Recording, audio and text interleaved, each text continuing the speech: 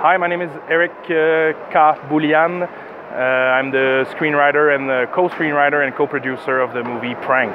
It was uh, the, the, the director uh, Vincent Biron had uh, went with a bunch of friends to do uh, pranks on an April Fool's Day. So yeah, we went with a camera with his friend and he recorded those pranks because uh, some friends had a YouTube channels where they were making pranks.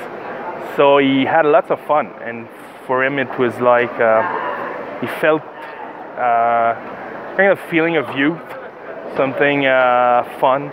So he had this idea to um, to to make a movie with a young prankster, but also he wanted to um, show the, the the life of the people who were um, were the victims of the prank. So we had this uh, kind of concept where we would follow the four main character who are doing pranks in a more linear way, in fact, in a more classic storytelling. But then you would uh, stop the movie sometimes to go on a, with another character who's becoming a victim of a prank. So it was uh, his concept at first, and then he approached us, uh, some of his friends, to write the screenplay with him because he wanted to write it quick because uh, so we wrote the script in like a month and a half because uh, we wanted to shoot fast. Uh, yeah. Well, the shooting was uh, a year and a half because uh, yeah, we really took our time. So sometimes the a day of shooting would be only like four hours because we only make a scene this day uh, that day with the with the actors. It was really a free um, free set because we were only uh, three people, on three or four people on the set. Like uh, Vincent is a cinematographer, so he was making the camera.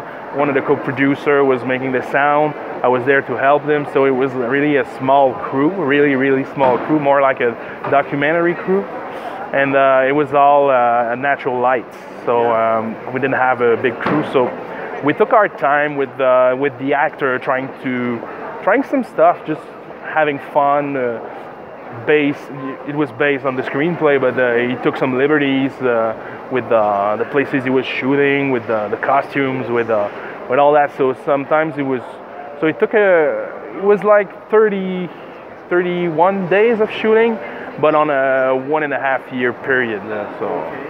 The the main character is uh, an actor which I worked with on a short film before. It was called Petit Frère so I knew him and I suggested him to to Vincent, and he, he loved it. He's a, he's a great actor, and he's fun to shoot with. So this one was really uh, was already uh, cast. So, and for the other, we made a casting call uh, with. Uh, so we call some agency, and like we're we're looking for a young actors who are available for free on the weekends when they can.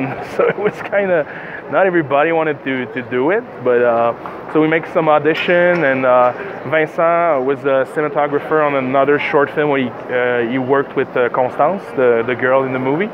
So he knew her a bit, so she, he asked her to come do the, the test. So um, yeah, it was uh, like a mix between uh, people we knew and people we saw in audition and uh, all the the other actors, the, play, the, the the people who are playing the the victim of the pranks and all that, those are all friends. So usually, yeah, it's all public fun, but for prank, we decided to not go that way because uh, it would have been too long, and there'd probably be a risk that uh, they would just refuse to give us money because it's not the kind of movie you saw most you, you see mostly in Quebec. I mean, the, even the fact that it's a comedy comedy is rare in Quebec. There's comedy, but it's big comedy movie. Uh, so, and for first-time filmmaker, I think we we thought it would be too hard to get the money and too long. So we said, no, no, let's let's shoot this movie before we're 30 because we wanted to have a feature film before 30 years old.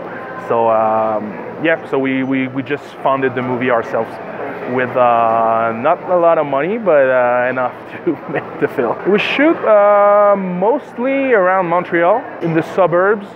It was also shoot, shot uh, near uh, Vincent's hometown, Uh, it was in Sorel Tracy, a small place where there's the, the bridge in the movie. That's where we shot it. So about an hour and a half from Montreal.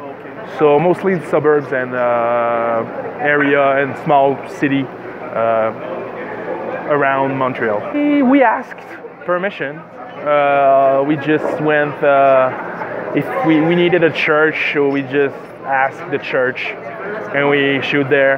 And people were kind of nice, and they let us shoot about anywhere. With I, I don't recall uh, any problems that we had, and so, but it was sometimes it was also really fast. But on the bridge, uh, we could have been uh, arrested or just come.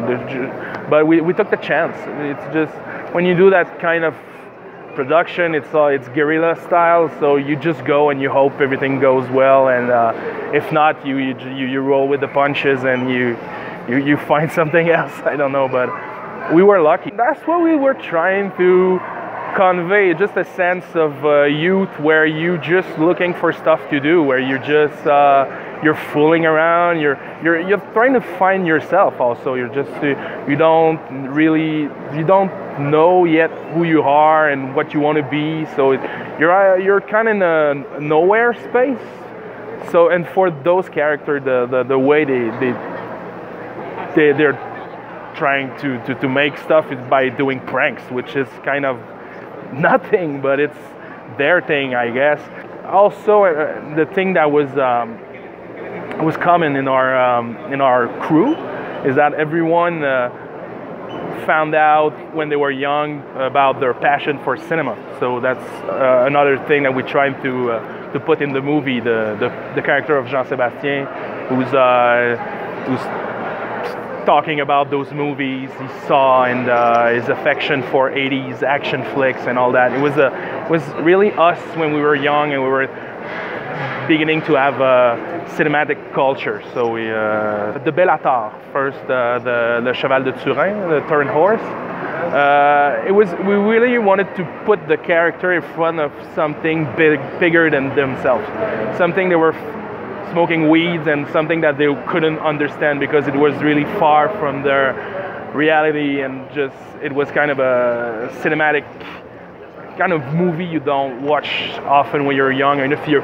you watch it you just say what the what the heck is that so we choose uh, the cheval Turin horse because we found it funny that they would smoke weed and watch that movie for the other movies predator and uh, Highlander and uh, Die Hard, and it's just movies that we like. It's, we're we're big fans of uh, American action. Our first film that we saw was American films because we're so close and they have uh, this big giant thing that is American cinema and United States cinema. So the first movie we watched when we were kids were was that. So I saw Predator when I was young. I saw Hard when I was young. So it was all the film that we recall. Uh, I haven't seen when we were young, and that made an impression on us. That we uh, we and sometimes we were that's what we do when we're in a, group and we say, "Oh, you remember that movie? Yeah." And uh, and then it comes with a, a sword and he chop his head. I was like, "Ah, yeah, that's cool." So that was uh, that was some just we, we took movies that uh, that we liked and we wanted to talk about and we wanted to have to be yeah show what we like. First, we didn't even thought that would be shown in Mexico because uh, and it's a great opportunity and at this Cineteca, which is so great. That I love this place. So I, I didn't even know that we were gonna end up in Mexico. So now I don't know if somebody sees it and wanted to show it another place. That would be great, but it's something I don't have power on. But uh, I don't know. It's hard to say. It's not uh, because we don't have the resources or we don't have the contacts in Mexico. So I don't I don't know any distributor in Mexico. So I don't know. the reception is pretty good. I think. Uh, people can people can relate to uh, this movie because everybody was young everybody was I don't know if anybody made pranks but everybody loves to have fun I guess so the the reception is kind of great which is what is really uh, interesting to see is that in every countries we've shown it it's not at every uh, jokes that it's laugh, and it's not the the reaction are bigger at some points in the movie depending on in which countries we are. Sometimes people laugh at another place and they don't laugh at that place. So it's fun to see where the people are reacting and uh, if people are reacting. So I'm always, uh, it's always fun to see uh, the reaction of the, the people uh, who, who don't have the same culture. So it's,